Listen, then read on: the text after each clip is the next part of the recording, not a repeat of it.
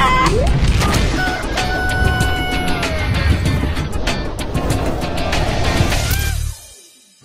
One of our greatest pleasures in life is a leisurely breakfast. And nobody does leisure like we do here on the Gulf Coast, especially if you're on vacation. Taking your own sweet time to enjoy breakfast is like, well, having your own pancake and eating it too. We take breakfast personal around here, and everyone has a favorite spot.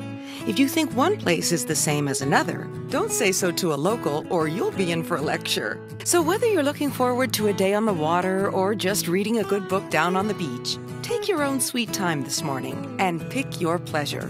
What's for Breakfast is coming up right now. Bud and Alley's in Seaside is one of the top 20 restaurants in Florida. Founded in 1986, Bud and Alley's is committed to organic, locally sourced, freshest possible seafood, harvests, and naturally farm fresh eggs. If you don't think all that focus on fresh local ingredients makes a difference, you haven't tasted Bud and Alley's Eggs Benedict. You haven't indulged in a stack of sweet potato pancakes. And you haven't dipped your fork into a plate of duck confit hash with a fried egg on top. The fact that you enjoy this incredible breakfast experience with a view like this makes and Alley's an absolute must do breakfast choice if you are anywhere near Seaside or 30A. Another enticement offered by and Alley's sparkling wine, mimosas, and award winning Bloody Marys from the full bar. As one breakfast diner vacationing here from Italy recently explained, in my country, we say you can't drink all day if you don't start in the morning. After a breakfast like this at Bud and Alley's, you may think you may never be able to eat again. But you'll be craving breakfast again tomorrow.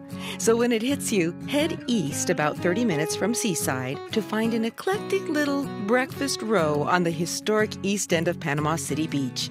Several local favorite spots serve breakfast and brunch on the weekends, and others offer breakfast seven days a week. Liza's Kitchen has a cult like following for their weekends only brunch, which includes the absolute finest French toast with the best fruit you've ever tasted. And you can enjoy champagne with that, because it just so happens Liza's co owner, Kat Meek, is all.